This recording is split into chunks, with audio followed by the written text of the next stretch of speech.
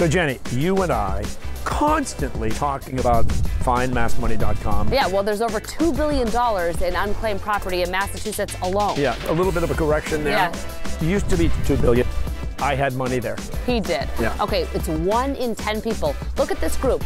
Someone here has unclaimed money. Yeah, how cool is that? By the way, it's real easy. It is. All you have to do is go online to findmassmoney.com. really?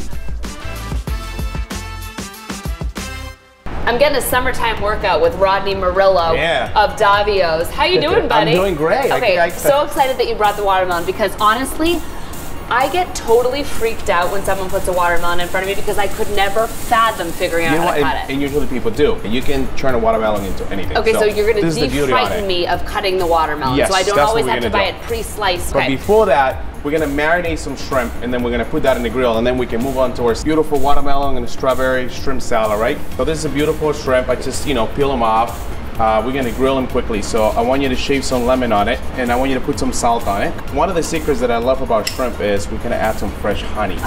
Gives the shrimp that beautiful, nice caramelized flavor on the a grill. So- glazed. Right, so now use the fork and we're gonna put them in there and we're gonna grill them all up.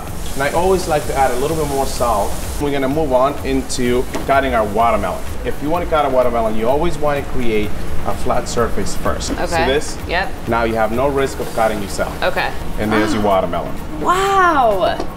We're gonna hollow out this watermelon. I like to use a clam knife. Okay. Because you Oh, it's know, safe. so it's safe. It cuts a watermelon very well. Start doing just this, cutting little pieces of the watermelon out.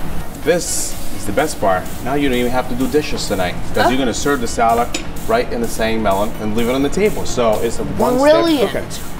I want you to cut some strawberries. Okay. And mix some strawberries right there. Now we're gonna add a little fresh mint to it, right? Okay. With just a little bit of a greens in the bottom of the bowl. What I like to use for my salad, I like to use half a champagne vinegar and half of olive oil. That's what I like to do. Okay. Okay. So this mm-hmm. is when we put it right God, back Rodney, in there. this is See? beautiful. I'm gonna sprinkle just a little bit of feta on top.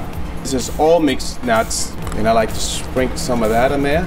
You can just put the shrimp right on the salad, just like this. Add a little bit more of this to really get that same flavor on those shrimp. Cheers to you, Rodney. Cheers to you. Adore you. Thank you.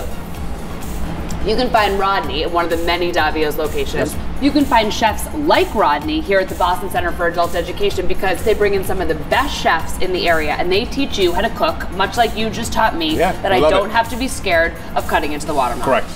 Thank you, buddy. Thank you.